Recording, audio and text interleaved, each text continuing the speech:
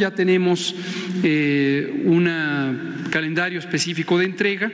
El primer envío va a ser del 12 al 16 de septiembre con 3.873.600 dosis. Segundo envío del 18 al 23 de septiembre, 3.9 millones de dosis. El tercer envío en la última semana de septiembre, del 26 al 30, con 2.2 millones de dosis, para un total de 10 millones 3.200 dosis de la vacuna Pfizer para niñas y niños, la vacuna de uso para 5 a 11 años, que es la que requerimos en este momento. Y tenemos perfectamente identificado cuál va a ser el uso.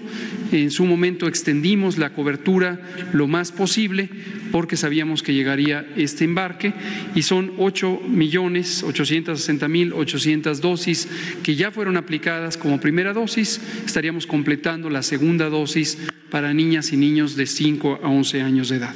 Eso nos deja un remanente de 1.142.400 vacunas que en su momento se usarán para cubrir primera y segunda dosis de 571 mil niñas y niños que estarán siendo vacunados.